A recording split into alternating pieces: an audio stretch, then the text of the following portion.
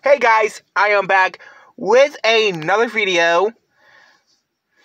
And happy Sunday. So, yes, Mortal Kombat has character characters who we love grow up with for the years like Scorpion, Sub-Zero, Raiden, Kano, Johnny Cage, Liu Kang, Sonya Blade. And there are some weird characters who were in the game, like Noob's Shadow from Mortal Kombat 9. Uh, a clone that looks like Sonya Blade, but she's green.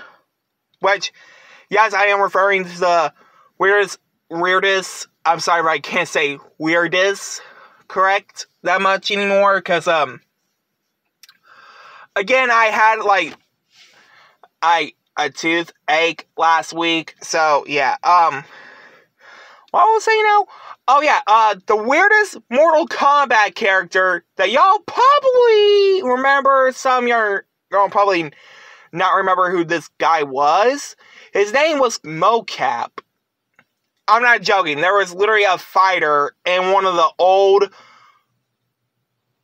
PlayStation 2 Mortal Kombat games named Mokap. That was literally wearing like a suit.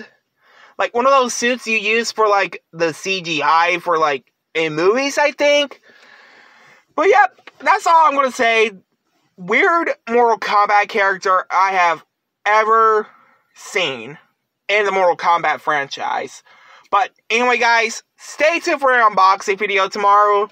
Hope you guys like, comment, subscribe.